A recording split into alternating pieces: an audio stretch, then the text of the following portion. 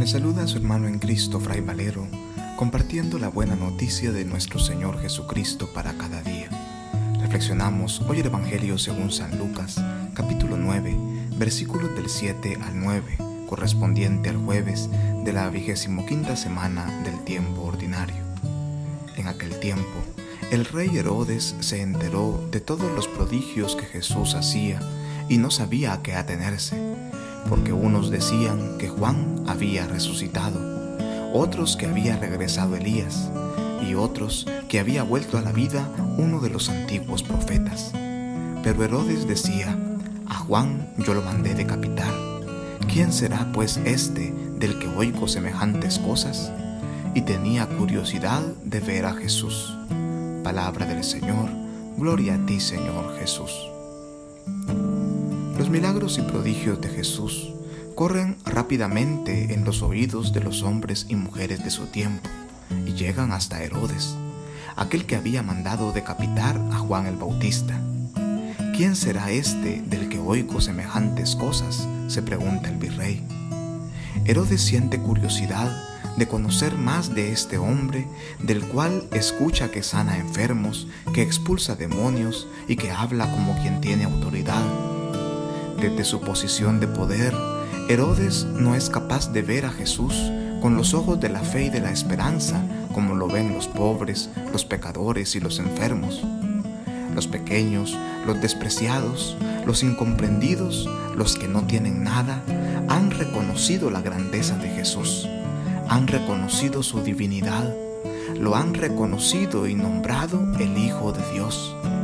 En cambio, Herodes, así como los sumos sacerdotes, los fariseos y saduceos o los miembros del Sanedrín, los que son grandes y poderosos en este mundo, lo ven con ojos de desconfianza, no le reconocen.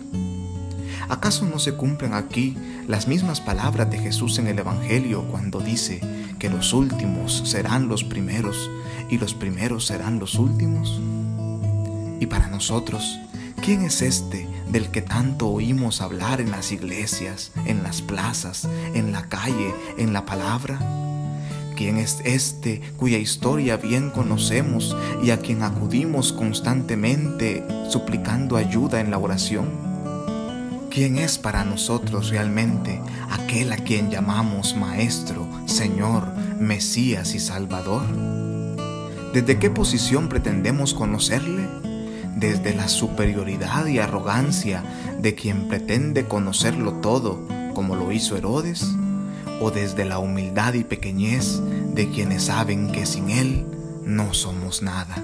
En el cuarto día de la novena a San Francisco, el poverelo de Asís nos muestra cómo desde la minoridad y simplicidad, desde la humildad y la pobreza, podemos acoger en nuestro corazón el mensaje de esperanza, la buena noticia de alegría y salvación que nos trae únicamente aquel que vive y reina eternamente, el que reconocemos como nuestro Dios por los siglos de los siglos. Amén. Oremos. Dios todo amoroso y eterno, que en la superabundancia de tu amor sobrepasas los méritos y aún los deseos de los que te suplican. Derrama sobre nosotros tu misericordia para que libres nuestra conciencia de toda inquietud y nos concedas aún aquello que no nos atrevemos a pedir.